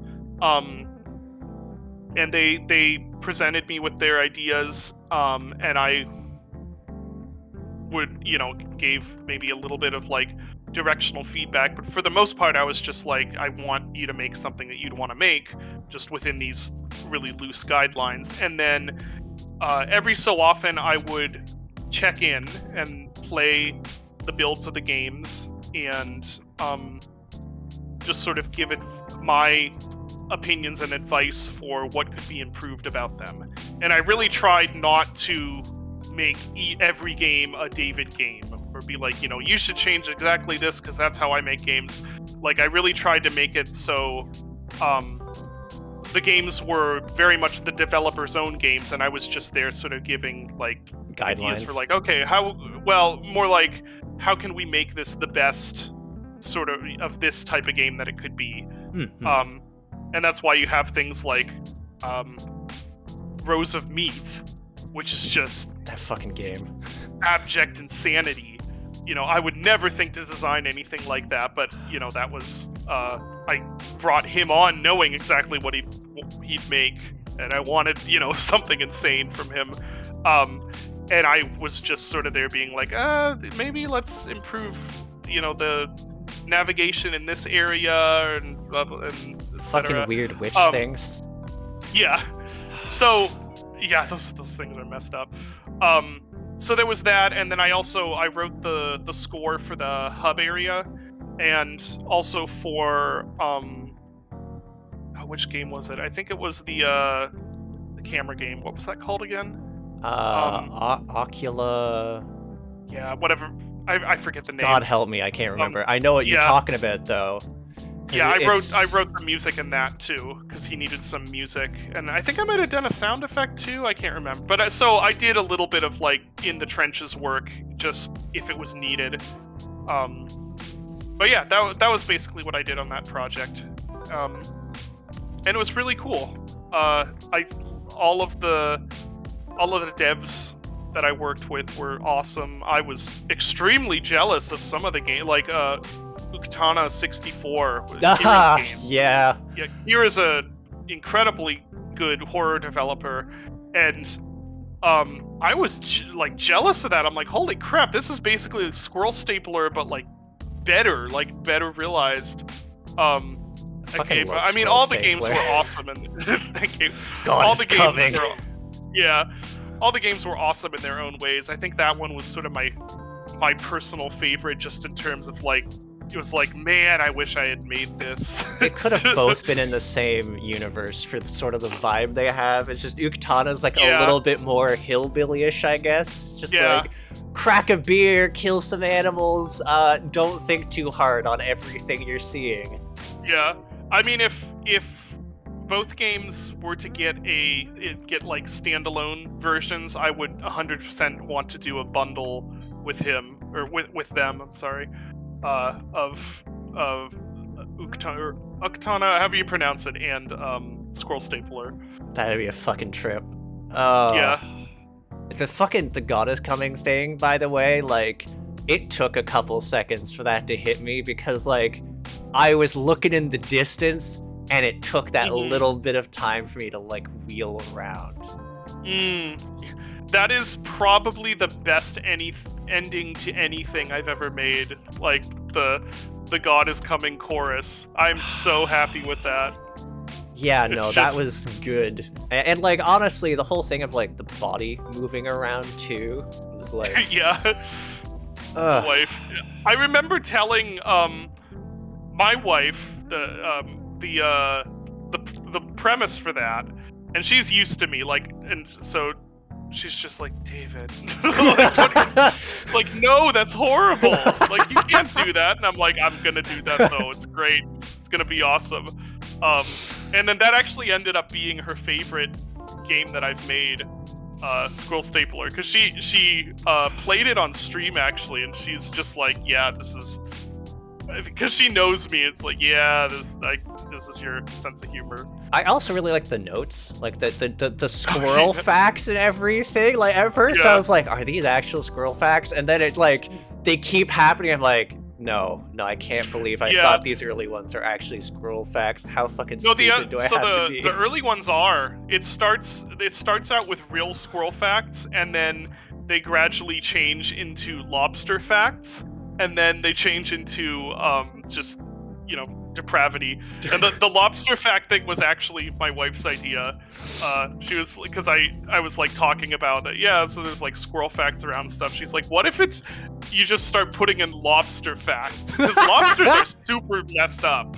Like like all of those all of there's a bunch of the like uh urinating out of their eyeballs or whatever that's all like very true for lobsters like they're really weird creatures Jesus Christ. I mean, I guess that keeps them moist or whatever under the ocean. or something yeah Uh, fuck. Okay. Um, I guess the only other question I'd have Dread X related wise is, um, do we have more contributions from you to look forward to on that front? Even if you can't talk Uh, about genre. like dreadx collections Yeah. i don't know to be, to be honest um me doing stuff for other collections hasn't really been talked about and to be honest as um as great an experience as it was working with DreadX on the those three collections, um, I'm kind of at a point now where I'm not sure I'd want to uh, work on something like that and have someone else publishing it. Just now that um, now that Iron Lung has you know done really well and Chop Goblins has done really well, at this point I'm like I would rather just make this stuff on my own and publish it on my own. I mean, yeah, Um, like have it- noticed you. Yeah, and have it you know all all all under my own control. Um, again, nothing. You know, DreadX was was great to work with on that stuff. It's just that when I think about um, like like Squirrel Stapler, for instance, I'm like, oh, it'd be really cool if that were just on Steam. Like I had just if I had just made Squirrel Stapler and put it on Steam itself, uh, not part of a collection. Um, and so yeah, going forward, I kind of just feel like I'd rather publish all this stuff on my own and um, cut out the middleman in a way. I mean, that's definitely fair. It helped me discover you because, like, I'd heard of Dusk, but I'd never actually dived into your stuff until, like, the DreadX thing sort of set me on a path for you, and then I started going through your bodies of work, like, backwards. Oh, gotcha. Yeah, I mean, to be clear, I don't have any regrets about doing those. Um, and it was, you know, DreadX offering the opportunity is the reason that those games even happened. Like, I wouldn't have ever come up with the idea for Squirrel Stapler if I wasn't trying to think up something to do for the collection. Um, it's just that, you know, thinking for the future, I'm like, eh, Mhm. it's- what what makes the most sense for me is probably more just working on my own. when it's when it's my own project. All right, so I, have sort of delayed this enough. Um, I figure now seems like a good time to start talking about the project that you're helping to work on, Gloomwood. Yeah. And so I'd love to hear you describe it first off and what you're aiming to accomplish with it, at least in regards to your part of it. Sure. Uh, well, Gloomwood is a alternate history, sort of surreal Victorian um, horror adjacent game that is best described as sort of a mix of classic immersive sims like Thief or System Shock 2 or Deus Ex um, with survival horror games like Resident Evil. It's sort of a mid ground between those two, set in this moody Vict- uh, Victorian uh, place, like a place where stuff's crazy. Um, and uh, let's see, what? Yeah, it's um, uh, I don't. It's one of those deals where there's so much to talk about. I'm not even sure where to start. Um, I'm mostly so, so I am I am working on Gloomwood, but I'm mostly like the second developer. I've helped out with a lot of different things, um, but the game is primarily the brainchild of um, Dillon Rogers, who's um, Taffer King on Twitter, and is obs- uh, obsessed with all things thief and immersive sim. Um, and it just so happens that I have very similar, uh, very similar taste. So, you know, it works out. Um, but I've done a, I've done a lot of work on like determining the aesthetic direction of the game, at least starting out, um, helping to design sort of the the game the game design itself, like the direction we're going of of this mix between classic survival horror uh, values and immersive sim elements, um, and stuff like that. So, if you were you part of the project from sort of its inception, or were you pulled in a bit later? And as far as you know, how did the project come to be? Um, so he has been working on Gloomwood since I think probably even before I started work on, well, start started work on the the Dusk that we and um, you guys ended up seeing. It, he hasn't been working on it since he's been 15, but um, yeah, so he he's been working on it forever. Uh, but the original version was, oh, you, you wouldn't recognize it as Gloomwood. A different. Uh, it was like a yeah, it was still the same setting and sort of vibe that like uh, weird surreal Victorian thing. Um, but it was like a pixel art roguelike sort of game. Hmm. Um, it was still a first person game, but it was like all the like uh, really crunchy pixels and it was like a roguelike and everything looked different. Um, the game is kind of we know it now started uh, let's see. I think it, it was like taking shape while I was finishing up with Dusk, like in the, like that year. Um, and then uh, let's see.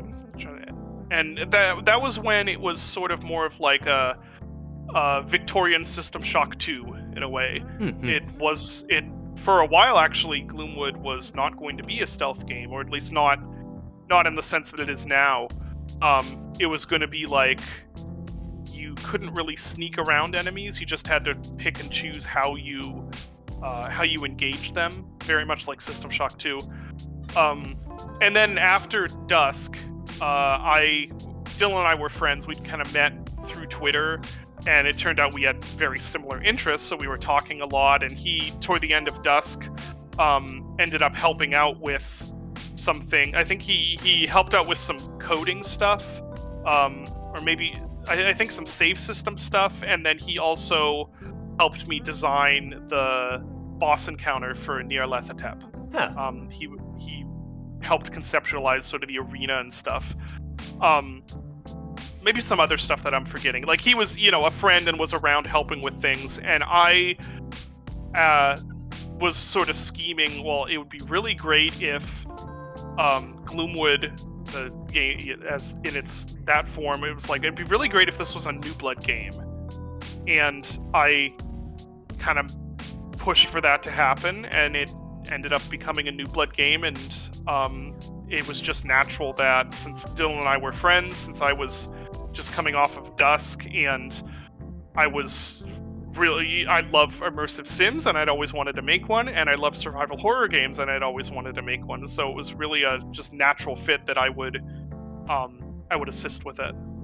So you said it didn't necessarily start out with uh, stealth orientation and the like. So how did your Yeah. experience with stealth in Dusk impact how you chose to address it or even implement it in Gloomwood? Uh, I would say very little, because there's a little bit of stealth in Dusk. Uh, at one point, there was going to be more, but it was like it it made the AI too exploitable. Um, and really, the when Gloomwood, when we started talking about well, maybe this should take a little bit more from Thief. Um, Dillon really was the one who took you know took point on that. He's combed through the thief source code and stuff like that and really gotten and played just innumerable hours of thief and thief mods and stuff and just uh, focused in really hard on what works about this and what doesn't work and what would we want to replicate. So that's really his um you know that was really him. In in that case, like from your observations of like going through it and its progression, what do you think has been the most interesting innovation he's made insofar as the stealth for Gloomwood? oh there's a lot that it it may not look like it uh from just playing it but that game under the hood is so complicated um like the i i think that him in unity coding his own sound propagation system that works very that works the same as thieves is incredible. Um same with the having not not just you're in the dark so you're hidden you're in the light so you're not hidden but having the same sort of light gem system and like he i don't know i think there's a lot that he's done to take all the stuff about about thief that is really cool and remake it in a completely different engine that i think is really incredible Sort of hopping back over to like a, a matter of your particular contribution, you mentioned you helped a bit with like the aesthetic elements for the game Yeah. in its current iteration.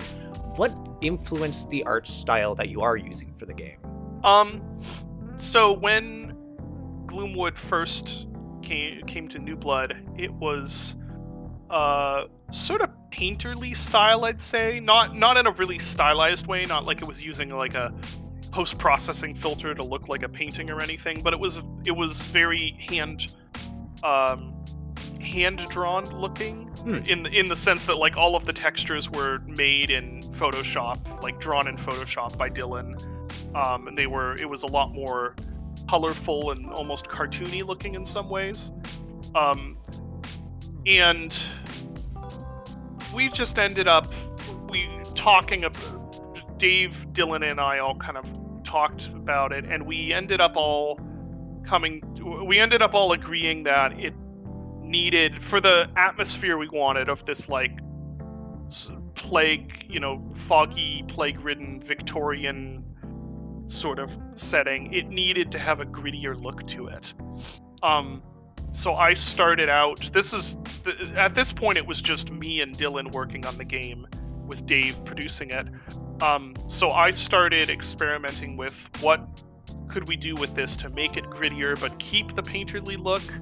Um, and I tried a few things, and eventually we were just like, no, it needs the we need to change the whole art style. Um, it needs to look more grittier, more you know, more decayed and and dark and stuff. Um, and so the first reference point was Thief, since we were moving stuff a lot closer to Thief. Um, and that's sort of remained a big touchstone, but we've also brought in um, like I shouldn't say we. I've also brought in elements of like uh, Call of Cthulhu: Dark Corners of the Earth. That's a game that both yeah, both Dillon and I love that game. And if you play through the like the cliffs and the fishery and stuff in Gloomwood, uh, you'll see there's a lot of Call of Cthulhu in there, and that's very deliberate. Um, and Dillon has a background as a source mapper, and I have a background as a big fan of source stuff. Um, so a lot of the way like we use textures and and the way the textures are designed for and stuff is kind of source influenced also. Does that also mean there's going to be a lot of um, sort of vertical building? Because that's like a thing that's heavily done in Source because I think it was easier to build vertically than horizontally in it. Um, vertical vertical level design is generally just desirable in a lot of ways, and so especially getting into the city areas, I think that's definitely something that you'll see a lot of. Um, not not just not not even just because aesthetically we're trying to emulate anything, but just because I think that's going to make for a much more interesting stealth level design, especially once you start getting some other tools that sort of gives you more options for navigating around and avoiding fights if you want to avoid them or ambushing people. Yeah.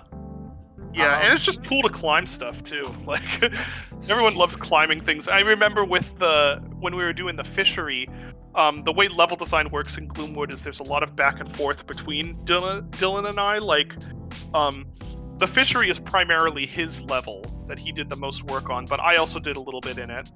Um, the caves uh, were primarily my level that I worked on, but Dillon also did a, a decent amount of work in them. Cliffside was sort of both of us back and forth. So um, with the fishery, I remember at one point uh, we were testing it, and I was like, we really need to make sure you can climb up onto the roof. Like, have rooftop space where you can climb up there and get into trouble on it. Would it would just be super cool. Can can you knock people off roofs to their death? Well, you can um you can stab them and then throw their body off the roof. There is a there has been a um running discussion about whether we would be able to implement any sort of kick functionality. Um, that's not in any way a promise of features to come, but it's something that has been discussed, and there are reasons for it and reasons for not having it. Secondary stupid question is leading off this. Yeah. If you drop an object from a rooftop under onto someone below, will it do damage to them? Like drop- Okay, yeah, that is that is the biggest um, gameplay feature that I have been I, I, I have been nagging for for like for a while now. so it, yes, it is going to be a thing. I'm really hoping next uh, next big update that we get to put that in because I have been uh, campaigning for that for a while. Just carrying a bunch of bricks onto a rooftop and hucking them down at people. Yeah. I mean, if this like like I said, I tend to be pretty just goofy to a stupid extent, and I think it would be hilarious if you dropped a, like a metal box on them. It just scales their model down and sideways, so they just sort of like splat like Looney Tunes splat. Isn't there already something sort of like that if you like crush someone with an elevator? Um, it'll gib them. It'll gib them, Like, but it doesn't yeah. quite pancake them like you would with No. a box.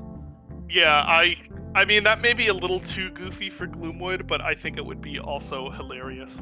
Uh, th- that's where you just you put it as a little toggle, so you have like the normal death for a box. and Yeah. just have a little toggle, like if they maybe find like a little note in a pile of bricks or something on a rooftop, and it just unlocks the ability to pancake people and loony Coyote deaths. Coyote deaths enabled. Yeah, Oh, that'd actually be fantastic. Um, I think it'd be hilarious. Yeah. so, what's been the hardest challenge when making this game, at least in so far? light maps light maps by a, miles and miles it's light maps. Um because we so the the gloomwood demo if you go back i don't even know if that's available on steam anymore. I think it's gone. Um but if you played that uh there were some dynamic light sources and those were all real time. Those were all uh and they were a little expensive um and really all of us wanted the thief thing of uh like like in thief you can you know put out a torch um and that torch will go out and that it'll stop casting light. But thief's all light maps. That's not none of the none of that sort of lighting is real time. Um and we really wanted to be able to do that.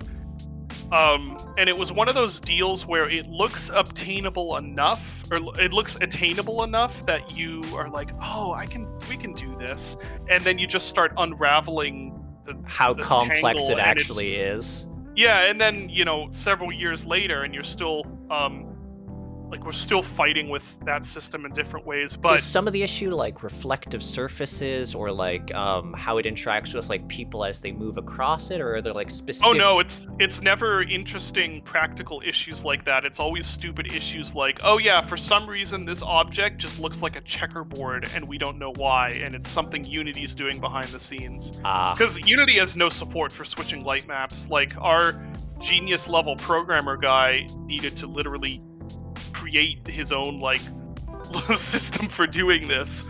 Um, like every so every single light source in Gloomwood, that every single dynamic light, light source that can be turned on and off is its own separate like light map pass. Um, yeah, it's crazy. It's a it's it's crazy that the system works, but we're because it's been uh, such an ordeal. And by the way, if you ever wonder why Gloomwood has uh, taken so long to get from the initial demo to now early access, light maps. that, is, that is the reason. Because I I kid you not, that probably took a year of project time just working on that, uh, all said and done, and it's still something that we struggle with. Um, but we're gonna try and make extra sure to have a lot of situations where you can do cool things with the light maps because it's taken like uh, in the early access in the fishery you can see that with the lighthouse. Um, how the lighthouse beam will shine onto the level sometimes. That's all entirely baked. Um, but that's the that's the light map system at work. I mean, that's cool though. So here's a question though. It, it's related. It might cross over with this again. I feel like it likely will. But like, what's been the most troublesome bugs you've encountered, and what's been the most interesting? At least so far as maybe stuff that Hmm. lent itself to emergent behavior, possibly. huh that's a good question I mean, like, uh, like I feel like sometimes bugs in, in these sort of games end up becoming features. Well, the one this this may not be the most interesting, but it's the one that's first coming to mind, which is recently um, the huntsmen were given that new uh, charge attack, or not the, the woodsman. Sorry, were given that new charge attack where they can just run at you with the axe, um, like at, at top speed. Uh, and that has resulted in two hilarious bugs. The first one was did end up needing to be fixed because but essentially what would happen is you were like on a ledge lower than the huntsman. So you were like close to him but in nav mesh terms in terms of him actually navigating to you he had to go all the way around somewhere else to actually get to you. So he would see that you're like close and he would start his charge attack and he would just like like uh, light Road speed runner. dash like yeah like road runner um that was hilarious. Made for some great gifs but it was it needed fixed. The other one that very much did not need fixed and we kept in because it's amazing is um so there's the one woodsman in the cliffside map who's like in the in, in the barn and he's just chopping away at this meat like axe goes in blood comes out! Um so if you make a noise near him he'll stop what he's doing and be like you know who made that noise and go investigate? And then after he's done investigating he'll go back to chopping the meat. And somehow it was it happened so that when he decided to go back whenever he would decide to go back to chopping the meat he would do the dash attack so what would happen is you'd have this guy uh, walking around outside the barn and he'd be like hmm must have been the wind or whatever and then go "Ah!" just like dash back in and um you know like condemned swing back to the chopping the meat and it was just the funniest thing ever I guess And that would teach players. Yeah, I guess that would teach players like, yeah, by the way, they have a dash attack. yeah, I guess so. But it was just, it was so funny. Um, Can you bait them off cliffs with that, by the way? Like if you No. sidestep? No. Oh. No, although, um, could be a thing in the future. I mean, we are always, uh, throughout early access, we'll be tweaking things and adding in new, you know, features and stuff like that that make sense. Because our approach is that we want to make it so that if you expect something to work a certain way It should. or it should yeah like if you're like I, intuitively this should happen or whatever Like breaking someone from the top of a building. exactly like that that's one of the reasons i've been pushing for that um is like anything where you're like ah i think i should be able to solve it this way within reason we want to make sure that that is something you can do So just to, to bounce back to like how this thing works, so like the woodsman dash, does it essentially calculate like he's supposed to reach you in a certain amount of time and it just cranks his speed to be able to do so? Is that how like the the roadrunner thing happened or Um, to be honest, I'm not sure because my uh, programming contribution to Gloomwood has been quite minimal. Mhm. Um, because I'm really not a very good programmer. Um, so there are other people working on it who are much better than I am, and it would do nobody any good uh, if I touched the code. So most of the programming stuff is stuff I haven't really been involved with. Um, I'm just involved in sort of the the level design, the, the aesthetics, and the overall game design, and all of that. Not so much the actual coding things. Okay, so we covered interesting bugs, and we've sort of talked about the light mapping, but beyond that, what's been the most troublesome bug? Light maps. Just like, it's just light maps, it's It's light maps light- all the way. Yeah, um I'm not sure. I'm hard pressed to think of anything else that isn't just the light maps screwing something up. Um, although there's certainly been plenty of bugs, but that's really the most troublesome part of Gloomwood. Okay. That and um, I guess this isn't really a bug, but tuning the AI has been a big trouble too, because you'll have the AI do something where in the code it makes perfect sense why it happens, but then in that one situation to the player it seems unfair. So It's it's, like, well, like the where you have to perfectly make fair, but then yeah, exceptions and etc. to sort of compensate for when these things happen emergent. yeah, or or decide where we want to strike the balance of like the the AI being smart, but also the player being able to like get away from them in ways that make sense to the player and it's Mhm. it's just it's a huge difficult balance thing and a lot of that stuff i guess i guess what brings that up is that a lot of that stuff are situations where to the player it can look like oh this is a bug and but in the code it's like no this is actually very fair it just doesn't feel fair in that situation Like trying to get away from them, but you're making noise, so even if you round a corner, it's still hearing you type thing. Well, it's crazier than that. It's things like so um, AI in Gloomwood has tons of different vis cones for like um, they they have different peripheral vision depending on their alert state. So you can get into situations where it's like you this guy doesn't see you, but then something makes them slightly more alerted. So now you're technically in their peripheral. So then it looks like they instantly spotted you, and but you know like crazy things like that. So do they like have like less of a warm up state where you have like a second or two to peel back and it just they go alert? Yeah, they have a um so they've got several different alert levels. Um I'm trying to remember how I think it's around 4 cuz they have like they're not alerted at all and then they'll respond to something just hear it they'll be like, "Oh, what was that?" and that doesn't really What was that noise? Yeah. and then they have like a um a state where they're like, "No, something is here," and they're searching around and trying to figure it out. Um, I think they might have a st- another state below that, uh, but, but then and then there's like the We, we know you're there. I've seen you. I'm going to murder your ass when I get my hands on you. Yeah. Um, so we, you've sort of talked about this like a, a plague-ridden town, and I believe the player character themselves is a plague doctor. Or they are a doctor. Yeah. Yeah. Does the sickness come into play insofar as like is it a thing that'll affect certain regions of the town and the player? I'm trying to think of that one game that you're basically like there's three characters, it's a horrible disease. Pathologic. Yes. Is there anything Yeah. like awful that you're gonna have to navigate like that where it's just a Um, nightmare later? There are some nightmarish things you'll have to navigate, but they're not really a traditional plague disease like that. Okay, so it's not gonna be like the management of of resources in that fashion. No, Okay. no. Although both Dillon and I really love Pathologic also, and I'm I still uh, need to actually play. I've, I've heard like the second one's actually not a bad stepping in point and pretty. no. The second one is a pretty good as the stat. Let's put it this way: the second one is the best stepping in point you are going to get with those games, which is not a very like. The uh, whole idea behind them is they're supposed to make you feel really, really stressed and uncomfortable. so Yeah, I've I've heard like they're legendary for doing just that.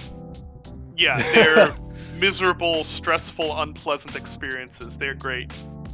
One day, one day, folks, I, I will probably dive into that and suffer the whole way through.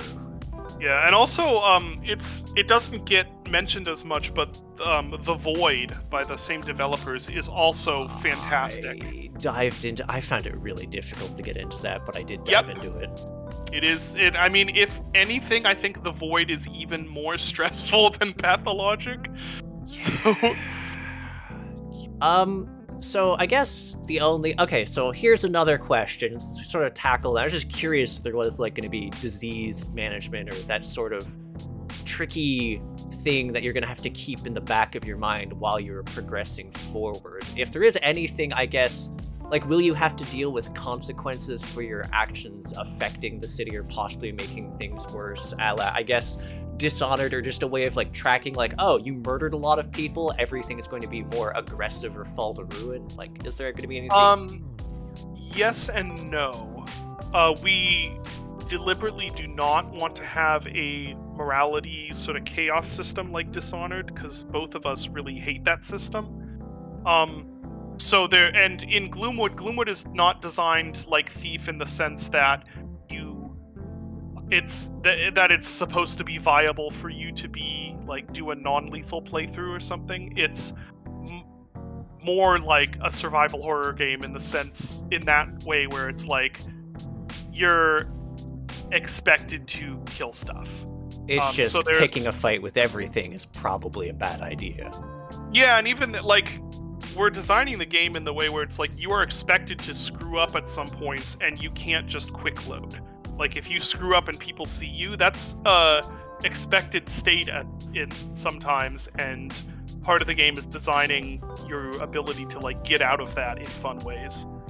Um but that said, there are probably going to be things later on where um there are there there are effects to you killing things not necessarily in the same way as like the chaos system though I was just curious, like, so, like, if you did shit, like, oh, I don't know, like, maybe there's something trapped in a house and, and you murder everyone guarding the house and it gets out later, or da da da da da. Like, I was curious if there was going to be repercussions to the actions you take, or if, like, each of the areas are relatively self contained, slash. Because it's always interesting when you do something and then there's consequences. yeah um i i think that that kind of remains to be seen uh gloomwood's kind of being we have a lot of design already for later areas but there's also a lot that we're designing as we go um so that would be the sort of thing where it's like if um situation comes up where it would make sense to do something like that probably but um, it still remains to be seen Fair enough. Um, so there's been parrying in Dusk and Chop Goblins. I know this isn't necessarily your brainchild, but does, does this trend continue of yet more parry? Sorry, what was that? there's been parrying in like Dusk and Chop Goblins, and though this isn't your brainchild per se, is that a trend we get to continue? Maybe Like, not uh, insofar as bullet reflection, but just parrying Oh. in general. um. Well, you can you can parry swords in Gloomwood. I don't know if that. That counts. That, that yeah, yeah, Yeah. it's the risk reward thing of like, hey, do you want to risk getting a sword in the face? Yeah, so I, I guess so. I, I just figured I'd ask that because like Yeah. Yeah, a- a lot of the- Chop Goblins. You're right. Yeah, no. I, I mean, it was sort of interesting to actually see that one in Chop Goblins. It's pretty hilarious when you actually Yeah. pull it off right, and it's just dead goblin the next second. But um, well, it's one of those things that's just it's pretty easy to code, and it's something that people always try, and it's like, eh, might as well make it a thing that can happen. Fun. Yeah, no, it's also like one of those rewarding things you just get to feel good when you pull it off. Yeah. Yeah. Um, so here's the thing. Gloomwood is a immersive sim, obviously. This tends to cause people to try very interesting ways of problem solving that you didn't really intend or foresee. What's your favorite examples that have cropped up in Gloomwood? Um, everything that Blasco Art does on Twitter. Dude plays it like a Dishonored style ninja game. I mean, if you um, want to stick a link up, we can maybe try and get like a little clip of this going, just so. True. Yeah, uh, just a little link because I don't actually know his his Twitter handle or anything, and we can stick that in the video for people to to witness. Yeah, here you go. I I I think I saw video is, but a link of it. But that was the one where it's like he deliberately like um triggered some people to come in and then like set off a fucking trapped safe. Yeah. Yeah, I would say that so far, um, it's uh, it's been difficult for people to find things that we didn't anticipate happening. Um, but that will also probably change as we continue into larger districts of the game and add more add more um, mechanics and stuff like that. Which I guess on that front, like how much do you still feel is to come for Gloomwood insofar as mechanics and also areas? Uh, a decent amount. Um, I mean, really, the what was in early access is only really the introdu- introductory part of the game. Um, we've still got uh, a lot to go. But thankfully now we've gotten past a lot of the under the hood mechanical problems that were taking so long. Um, and now can focus more on actually creating the content. So it should come much faster than uh, than this first bit took. So how do you feel like the scope of the game is going to like expand from here, like comparatively to what there's already there? Um, I don't think the scope is going to expand much beyond what we have planned, I would say. But um, as far as compared to what's there, um, geez, probably a good five or six times larger. Uh, if not more. Yeah.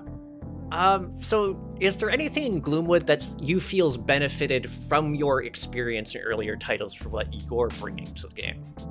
I think that's kind of hard for me to say like as the person. Um, I mean, it, it's. I, I think since I was so um, involved in determining the new sort of aesthetic direction and atmospheric direction and stuff, probably that. Um, yeah, other, other, I don't know. It's a little hard to say because I'm like the person in the midst of it. It's more something you'll you'll be able to think about in retrospective later. Probably, yeah. Uh, in that case, just at this juncture, is there anything else you would like to share about Gloomwood, or even other side projects you might be working on since you keep busy? um, no, not that you really. can share.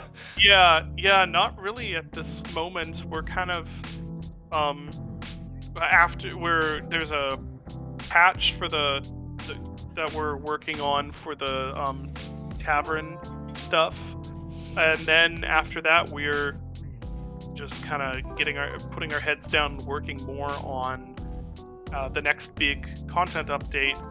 And as far as my own stuff, I'm like I said, I'm mostly taking it easy this year on my own solo stuff, and there's some things that uh, just are not announced yet. Fair enough. Hopefully, will be within the not too long. Um, so here's a, a question I meant to tackle earlier. It sort of uh, slipped my mind, but this is more of a general one. Uh, a uh, a viewer, Peter Hill, actually wrote in my comments because I was asking people if they had any questions for you specifically, and he was curious what sort of stages you prefer, both design wise and going through. Labyrinth style levels like Doom, or the more gritty, real world locations like you'd see in Duke Nukem, or like the abandoned gas station in Dusk, for instance. Um, I don't think that I'm good at designing things that aren't at least a little bit abstract. Like, Dusk is a very abstract game, even when it's real world locations like the, uh, like Ghost Town. That's still it's it's still kind of crazy, weird design. Um, and what I've found is that when it's when it, it's like places that are more open to me coming, just having weird ideas and being able to do those, um, the ideas flow a lot better than when it's just like, oh, I'm trying to recreate this specific thing uh, realistically. That's I'm just not very good at that. Uh, in terms of playing, I kind of like both. It just depends. Like, um, one of my, Doom is one of my favorite games, and Doom is extremely abstract, and I like that about it. Um, another one of my favorite games is uh, the game Infra, which is a source engine um, sort of exploring uh, urban exploration game, and it is it is extremely realistic in its. I level. heard about this. I think you're actually the one that directed me to it. you were like, Probably, I'm always feeling for it because I just love it so much. Um, so I really like both. It just depends on the game. Um, in terms of specifically classic shooters, I like retro boomer shooters. I do like there to be a little bit of an abstract element or a little bit of a surreal, not quite reality element to it. Um, I prefer that than just shooting my way through like, oh, it's a normal city street or whatever. I think you can kind of see that in Chop Goblins Mm, too, where mm, it's mm. like even, even the even the city street levels are like the buildings are weird and don't make the most logical sense. And really, by the time you get to Greece, I had just given up entirely and trying to make it realistic. And I'm just like, nah, giant, you know, ten story tall pillar building things is just because it's cool. Yep. Yep. So yeah, I- I think that's that that handles that pretty well. In which case, so is there anything else at this juncture that you would want to share with your audience? Or the audience, I guess. I don't think so. We've we've covered quite a bit. We, we really have. Um so Yeah. lastly, are there any indie projects that you currently have your eye on? It's your time Um, to plug your favorite things. Let's see. As I'm still waiting uh, with bated breath for um, Shadows of Doubt, which I'm really excited for. I don't know when that's coming out. Um, Compound Fracture looks awesome. Excited for that. Uh, let's see what else. Let me look at my wish list here. That, that'll Me help just me. typing these in to like quickly be like, oh, what's this? Um, I, like I said, I'm on a Half-Life kick, so I'm hoping Operation Black Mesa will release someday. Uh, Oh, is that a, a remake of um God damn it, you know what I'm just It's a remake of the the two expansion packs. Um, Wait, so two opposing- expansion packs. I, Yeah, opposing force and blue shift. ooh. That's interesting. Yeah, it's supposed to be both of them. Uh, what else do we have in here?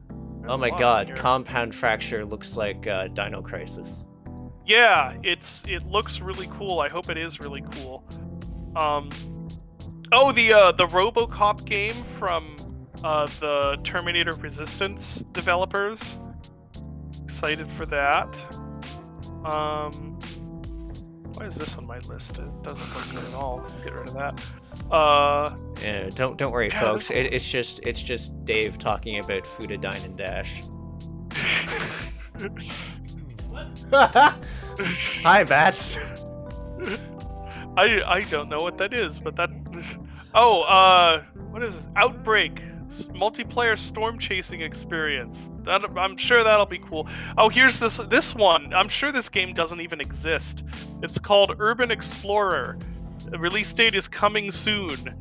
Um, and I'm this this looks like it's probably vaporware be, because I adore urban exploration. I used Um, to do that. Yeah, I've I that's where some of the textures for Dusk came from actually. You running around like abandoned houses, taking shots of them, and then like Yeah. it- yeah, nice. Yeah. Um. So yeah, lots of stuff. Uh. And which some stuff on here I've forgotten about. Fish. What is this? Fish Simoph Simophis.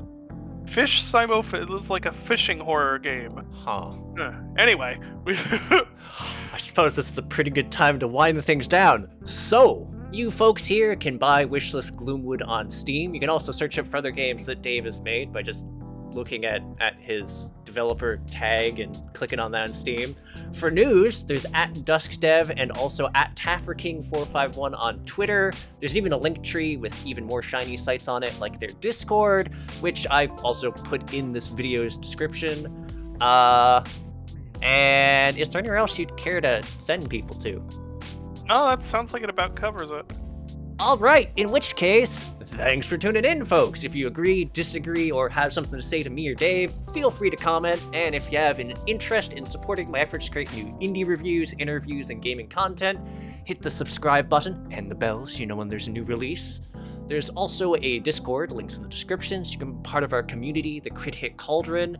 And with all that said, I'll catch you in the next episode of Crit Hit. Take care till then, folks. Bye, everybody.